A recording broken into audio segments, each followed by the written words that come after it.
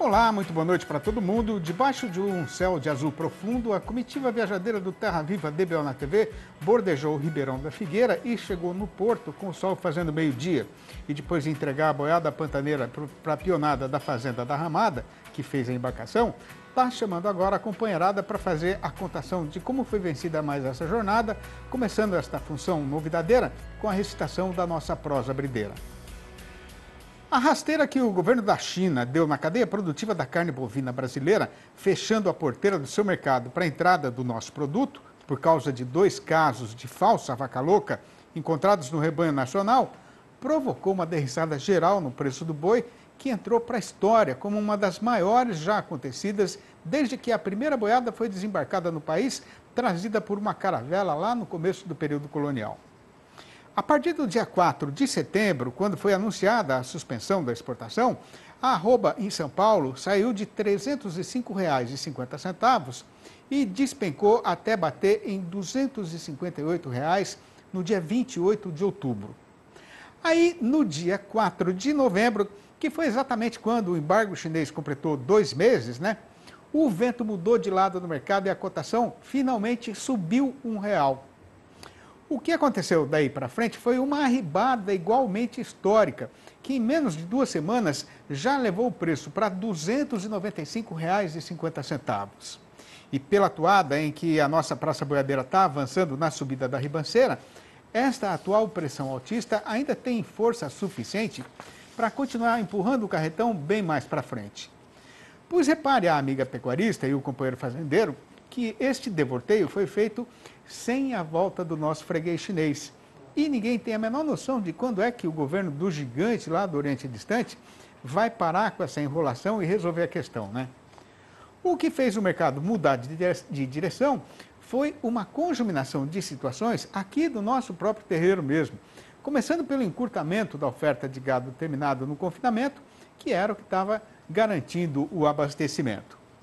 Isso aconteceu justamente quando o consumidor brasileiro estava ficando um pouco mais animado. E aí, com o reaparecimento da freguesia, o açougueiro precisou buscar mais mercadoria para reformar o estoque na Câmara Fria. Mas até aquelas horas, o boi estava caindo muito mais depressa do que a carne. E a margem de comercialização do frigorífico já era uma das maiores já registradas pelo setor. E para completar a combinação subideira, o dólar está numa altura estratosférica, ao mesmo tempo em que, no dinheiro da Norte América, a arroba brasileira ficou sendo uma das mais baratas do mercado internacional, o que está atiçando a fome dos países que continuam importando o nosso produto. Juntando tudo, o resultado é que o dono do frigorífico já está ficando generoso de novo na hora de pagar, porque para ele o negócio de comprar boiada e vender carne voltou a ser altamente lucroso. De acordo com o nosso roteiro costumeiro, nessa hora certa de agora mesmo, a gente tem de fazer uma parada ligeira, mas o companheiro não precisa nem levantar do banco, porque o intervalo vai ser rápido e é já que a gente vai voltar. Aguarde. Logicamente que esta é uma conta muito difícil de ser feita, mas de acordo com a Embrapa, o Brasil tem hoje mais ou menos 130 milhões de hectares de pastagens com diferentes níveis de degradação. E por isso é mais do que urgente que o fazendeiro brasileiro pegue firme na empreita de recuperar essas áreas e aumentar sua capacidade de produção. Né? Aí, para avançar mais ligeiro nesse terreno, o pessoal da EPAMIG, que é a empresa de pesquisa agropecuária de Minas Gerais, está com quase tudo pronto para começar um grande estudo com o uso da integração de lavoura pecuária e floresta plantada para fazer esse serviço de recuperação de pasto degradado na região do Cerrado. Pois então, para adquirir informação a respeito de como é que isso vai ser feito, a gente convidou para a nossa entrevista do dia o engenheiro agrônomo Fernando Franco, pesquisador da EPAMIG, que vai participar do programa falando ao vivo pelo computador, diretamente de Uberaba, no Triângulo Mineiro. Boa noite, Fernando. É uma grande satisfação ter a sua presença virtual aqui no nosso arranchamento eletrônico. Seja muito bem-vindo e fique à vontade que a casa é sua, viu? Boa noite, Sidney. Obrigado mais uma vez aí por nos dar a oportunidade de estar virtualmente aí contigo. É uma satisfação. Ô Fernando, pensando só no Cerrado brasileiro, né? De que tamanho é a área de pasto degradado que a gente tem nessa região? O Sidney, se pensarmos o Cerrado né, como um todo, em torno aí de 204 milhões de hectares. Desses 204 milhões, temos aproximadamente 50 milhões com pastagens. É um número expressivo. Agora, o mais expressivo ainda é o quanto destas pastagens estão em algum nível de degradação. É, estimamos que aproximadamente aí, 25 milhões de hectares hoje com pastagens no cerrado produzindo abaixo da média nacional, ou seja, em níveis altos de degradação. O número é bastante expressivo. Muita coisa mesmo. Agora, qual é a ideia básica desse estudo que a IPAMIG vai fazer sobre recuperação de pasto degradado? O, o nosso projeto, Sidney, ele, ele engloba duas áreas. Uma área de pastagem plantada degradada e uma outra área de uma pastagem em sistemas silvopastoril. É, essa área de pastagem degradada a gente chamou de ensaio 1, onde nós iremos testar aí diferentes sistemas de produção Pastagem, recuperação de pastagem solteira, recuperação de pastagem por meio de integração lavoura-pecuária e também lavoura, pecuária e floresta. E no ensaio 2, onde trabalharemos sistemas de silvopastoril implantados em 2010, 2009, 2010, nós iremos fazer um desbaste do componente florestal, visando a retomada de produtividade satisfatória dessas pastagens estabelecidas aí há mais de 10 anos. Ô Fernando, onde é que esse estudo vai ser feito e por que, que essas áreas foram as escolhidas? Então, nós temos né, a EPAMIG, como empresa de pesquisa do Estado de Minas, possui diferentes campos experimentais e, dentre esses campos experimentais, há peculiaridades né, de cada região. Então, nós iremos trabalhar aqui no Triângulo Mineiro, no campo experimental Getúlio Vargas, situado aqui em Uberaba, Trabalharemos no campo experimental Sertãozinho, que fica localizado no município de Patos de Minas, e também trabalhamos no campo experimental de Santa Rita, que fica lá no centro-oeste mineiro, em Prudente de Moraes. E aí nós estaremos, então, já abrangendo três regiões do estado para avaliar esses, é, essas, essas diferentes formas de recuperação das pastagens. Agora, como é que vai ser o manejo da área nos terrenos onde ainda não existe integração? Esses, nessas áreas, nós iremos primeiro trabalhar com os processos de correção de solo, é, preparo de solo com correção e calagem, assim como descompactação desses solos, e aí todos os tratos culturais necessários para a implantação dos sistemas. Nos sistemas que serão pastagens solteiras, nós iremos então ressemear a forrageira. Nos sistemas que serão lavoura pecuária, iremos semear o milho consorciado com a pastagem. E nos sistemas ILPF, semearemos o milho consorciado com a pastagem e plantaremos em renques de linha simples é, o Corímbia citriodora, no espaçamento aí para o componente arbóreo de 20 metros entre linhas e um metro e meio a dois metros entre plantas. Então teremos um sistema né, com árvores é um espaçamento bastante amplo para possibilitar os tratos, os, os tratos culturais na entrelinha dessas, desse componente florestal. O Fernando, agora falando assim no geral, né? Como é que a integração da lavoura, da pecuária com outras atividades, como a lavoura e a floresta plantada, pode ajudar na recuperação das áreas degradadas? É, Sidney, é importante a gente comentar o porquê que essas áreas de pastagem se degradam.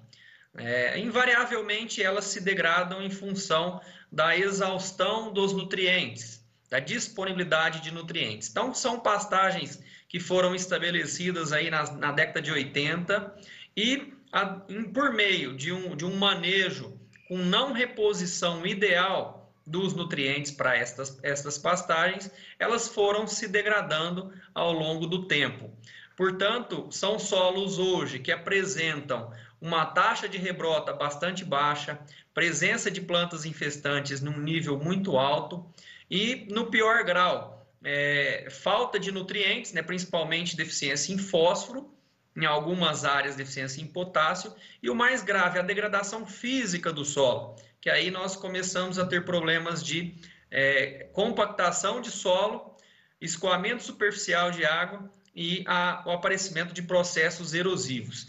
Então, quando a gente fala que nós vamos recuperar essa pastagem por meio da integração, nós estamos utilizando outros componentes, por exemplo, o agrícola e o florestal, para promover a recuperação daquela pastagem. Nós temos aí, Sidney, de, de, de pronto, é, a, a necessidade da correção desse solo para a implementação de uma nova cultura. E essa nova cultura, o que nós estamos recomendando? No nosso projeto, nós trabalharemos com milho. E a exigência nutricional do milho é um pouco superior à da forrageira. Portanto, iremos adubar esse, esse plantio de essa semeadura de milho, iremos colher esse milho, amortizando os custos desse fertilizante e sementes, por exemplo, e aí teremos ainda um residual no solo de, de, de nutrientes, por exemplo, aí fósforo, potássio, e aí nós estaremos então ressemeando essa forrageira. Então, um, um, um, um benefício que é, que é, muito palpável é a amortização do custo da recuperação da pastagem por meio da venda dos grãos.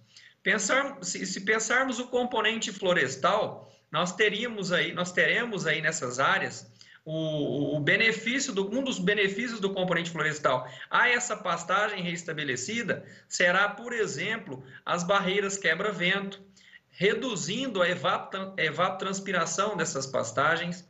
Então, nós temos uma sinergia entre os diferentes componentes. E visando, Sidney, a cada, a, a cada integração de, de diferentes culturas e diferentes espécies, buscarmos a sinergia entre esses componentes. Muito bom. Esse assunto é fascinante, né, Fernando? Então a gente vai procurar, aí, na medida do possível, acompanhar esse experimento de vocês e a gente volta a falar quando tiver algum resultado, porque é, a gente acha que esse é o futuro da agropecuária brasileira. Né? Muito obrigado pela sua participação, Fernando. Um grande abraço para você e dá um abraço em toda a turma aí da Ipamiga. Até a próxima. Um abraço, Sidney. Estamos sempre à disposição aqui. Muito obrigado. Se o amigo quiser levantar por um momento para assuntar no fogão o cozimento do feijão, dá tempo, mas carece de ser ligeiro, porque é já que a gente vai voltar. Tirar boi de arribada, pegar um eito na roçada, amansar vaca enfesada, engordar direito uma boiada, para tudo isso a gente dá jeito. Mas quando o serviço exige outras sabedências, como o perfeito entendimento do funcionamento do mercado, não adianta ficar fazendo penitência. E o melhor é consultar logo um especialista participando aqui da nossa conversa com o analista. Olá a todos, boa noite.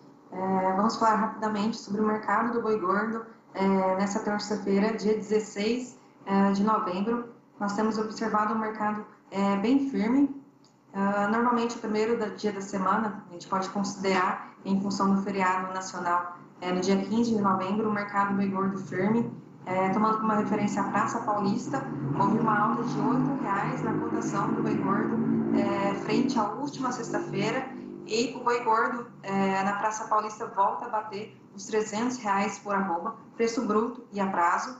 É, destacando também, uh, a gente pode direcionar ali para o Triângulo Mineiro, que houve uma alta de R$ 17,50 na comparação feita dia a dia, voltando aí para casa aí de 298 reais no preço bruto e a prazo. E no mais, as, é, Goiás, é, na região de Goiânia, ali em torno de R$ 15,50. É, podemos destacar também Tocantins, com uma alta de R$ 15,00, frente aí à última sexta-feira, é, tanto para a região norte quanto a região sul. Então, nós, o cenário geral é de preços firmes, uh, os frigoríficos continuam aí na briga da matéria-prima, encontrando aí dificuldade é, de boiadas terminadas e também uh, tem aumentado uh, o ímpeto é, por parte dos frigoríficos em decorrente da sazonalidade de final de ano, das festividades de final de ano aí melhorando o consumo no mercado doméstico. Então é isso que nós temos para abordar no mercado de boi gordo hoje. Muito obrigada pela sua atenção e até a próxima. E nesta terça-feira, a partir das 8h35 da noite, o Terra Viva transmite o leilão virtual Fazenda Conceição. Serão ofertadas 200 novilhas prenhes ou solteiras meio sangue e 3 quartos girolando. E para adquirir mais informações a respeito desta pista, o companheiro pecuarista pode ligar para o telefone 34 3311 7002 ou mandar uma mensagem para o WhatsApp número 34 também 99644 0178. E veja a seguir, não tem mais gado terminado em lugar nenhum do Brasil inteiro e com o comprador fazendo fila na porteira, pedindo favor para o fazendeiro, a nossa Praça Boiadeira continua desembestada na subida da ribanceira. O Terra Viva DBO na TV recomeça dentro de instantes. Aguarde. E estando o carretão quase entrando no trecho mais derradeiro do estradão, a gente chama a atenção do companheiro boiadeiro para a recitação do fato que se deu com o boi gordo no mercado e o modo que tem variado a sua cotação.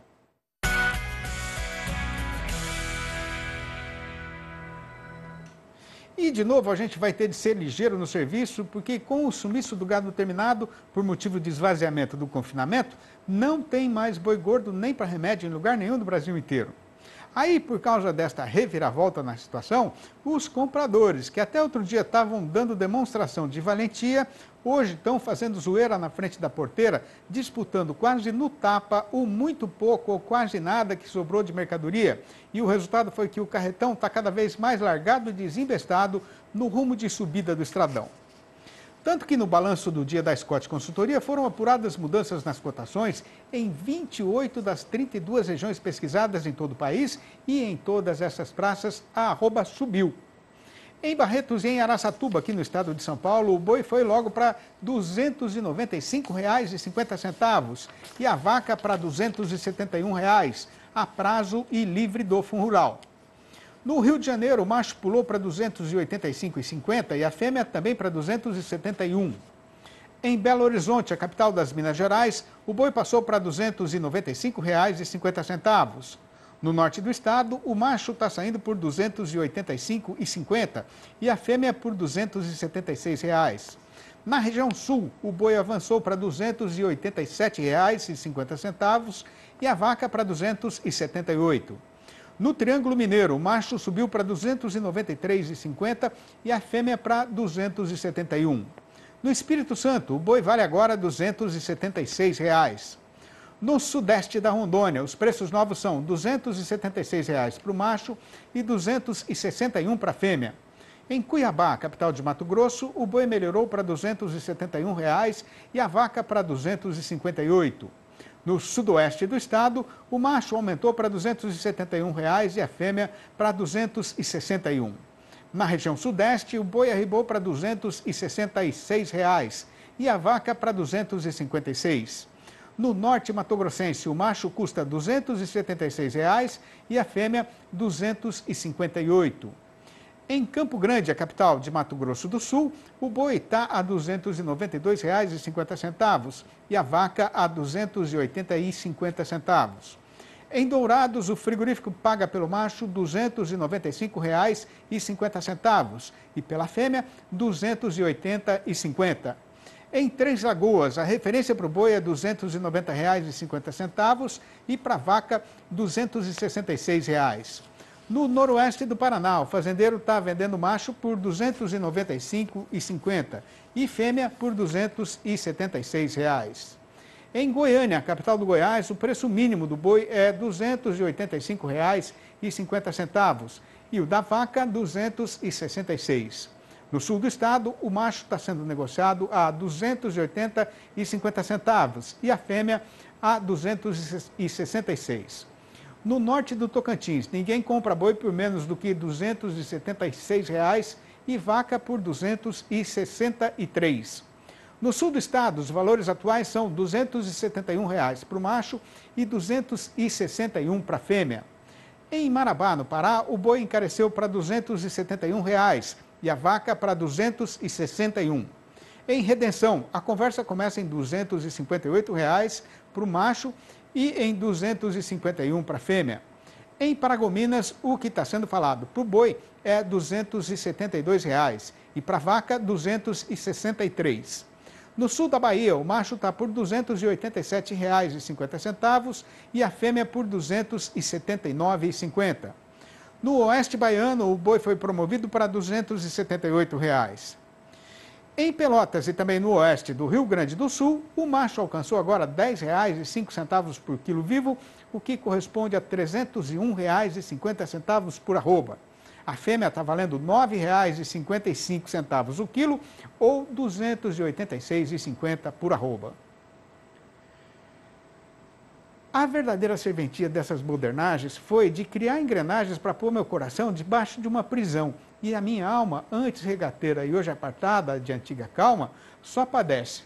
Se eu tivesse alguém a quem apelar, ou algum anjo para quem rezar, que eu soubesse que fosse mesmo me ajudar, eu faria uma prece para pedir que ele me tirasse daqui agora e me levasse embora, para qualquer lugar onde eu pudesse deixar de ser um vassalo humilhado que vale menos do que um cavalo. Essas trovinhas tiradas da lida e das situações cotidianas da vida, que a gente recita todo dia no arremate do programa, foram reunidas e selecionadas e publicadas no meu novo livro, O Versinhos de Caipira Inteirou os Quatro, o quarto da minha lida versejadeira, que eu lancei no meado do ano presente e já deu uma volta e meia no chão do sertão brasileiro, levada, levado pela mão dos companheiros. Se o amigo ou a amiga quiserem saber como fazer para adquirir um exemplar ou logo a coleção inteira, podem ligar diretamente para o meu telefone particular, que é o 11 98 224 1807, ou mandar um e-mail para sidneymastro.com.br ou ainda campear meu nome lá no Facebook e chamar para prosear. E com a pionada já montada e preparada para voltar para o Eito, a comitiva anuncia a sua despedida do povo aqui desse sertão, mas já deixa acertada e prometida a volta do Terra Viva DBO na TV para amanhã, às seis e meia da manhã e às sete e vinte e cinco da noite. Um abraço para todo mundo e até mais ver então.